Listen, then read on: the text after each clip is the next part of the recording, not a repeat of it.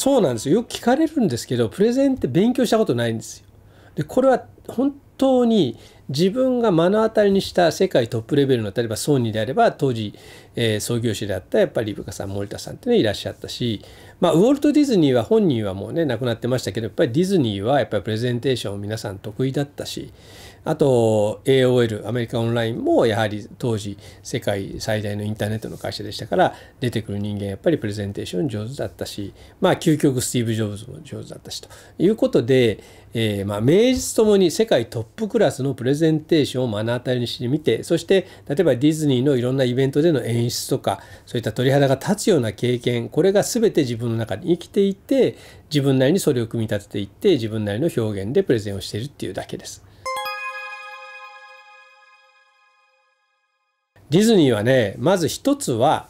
えー、ウォルト・ディズニー・ワールド25周年っていうねイベントがあったんですけれどもまず前夜祭がありましたでこれは、えー、向こうのバスケットボールスタジアムを使って前夜祭をやったんですがまずあのビデオメッセージで当時の大統領のビル・クリントンがビデオメッセージを寄せてくれてるんですねおおさすが国家産業だねすごいなと思いそしてその時ちょうど、えー、アニメの第二黄金期っていう第一黄金期はもう言うまでもなくシンデレラとか白雪姫とかそういった時代ですよね。でそこからちょっと何年かして停滞をして第二黄金期がちょうど来るタイミングでした。でこの最初に出てきたのが「リトル・マーメイド」そして次が、えー「ビューティービースト」「美女と野獣」ですねそして「嵐」そして「ライオン・キング」なんですが、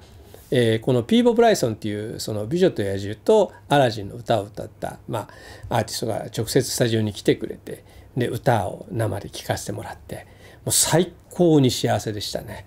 でなぜかっていうとそのビューティービーストの時に初めて実は CG を使ったんですね。えー、ベルとビーストがそのホールで踊るシーンっていうのは実際あのカメラでいうクレーンショットってやつが使われていてこれは従来のアニメでは表現できなかったんですけどもこれを CG を使って表現をしてまずここで鳥肌が立っていたっていう思い出があったからこそ今度その歌に対しての思い出もすごくあってそこですごい大感動しましたと。で歌が終わった後に一通りイベントの最後にですねちょうど「ライオンキング」の「えー、サークル・オブ・ライフっていう曲、まあ、あのオープニングの曲があると思うんですがこれに合わせてミュージカルでこれから出るあの動物たちが入ってくるんですよキリンとかね。それがダーッと入ってきてでサークル・オブ・ライフって言ってドーンっていう音で最後終わるんですけどもそのドーンっていう瞬間にそのスタジアム全般にですねバーンって紙吹雪が舞ってこの演出がまずねもう前夜祭でも完璧にやられちゃってる状態なんですけどこれすげえなって思った。そして翌日、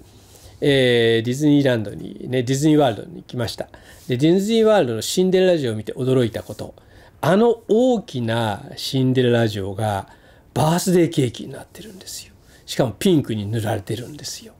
あもう後にも先にもあのあれあれしかとにかく見たことないですね。そのディズニーランドでシンデレラ城そのものがであそこまでデコレートされていると見たことなくてですね。ものすごいまず感動してそしてそこの前でオープニングセレモニーが行われたんですね。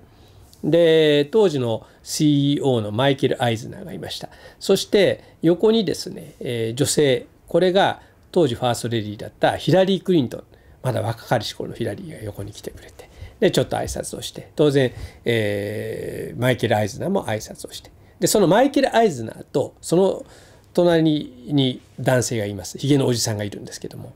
でその隣にさらにミッキーがいるんですけども。そのひげのおじさんっていうのはロイ・ディズニーといってですねあのウォルトのお兄さんの子供だったんですね。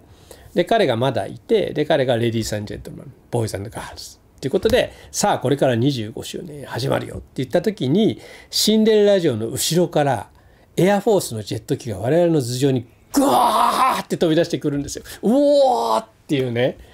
これもまたすげえ国家産業だなと思ったんですがやっぱその特にそういうですねこう鳥肌の体験っていうのはやっぱすごくて僕はその本当にディズニー今でも大好きなんですけれどもなんかそういう感覚ねこんなもう何年も経ってるんですよ。もう何年経ってるんだ、